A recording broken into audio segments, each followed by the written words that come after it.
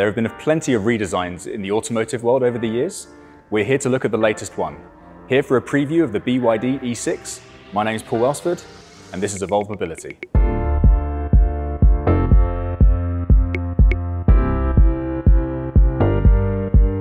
So here we are in 2021, and here's the new redesigned BYD E6. Gone are the sharp right angle edges, and now we've got this long swooping curved look. It's completely different to what it looked like before. Even the front looks different. Before was this sort of circuit board redesign. Now we've got this flat face with these pop air holes inside of it.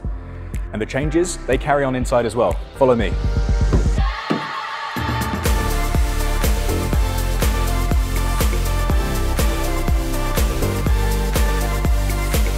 So whereas before there was an aftermarket infotainment system, one is now built into the actual uh, BYD E6 now. So we've got this uh, this 10 inch screen and it's kind of nifty. It actually rotates 90 degrees like that. We'll have to wait for the full review to actually work out how useful that is, but it's kind of cool. Uh, also, the dashboard is completely different now. There is this central dashboard area, a bit more traditional, whereas before there was this long display unit. Uh, yeah, really looking forward to when we do the full review and being able to actually really see how different this all is.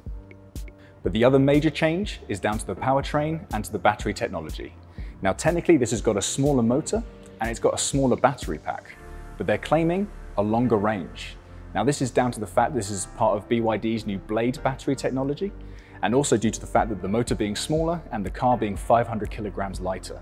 The previous car was rated to about 400 kilometers, this one over 500 kilometers. We'll see how that really translates in the real world, but if it's true, that's really impressive.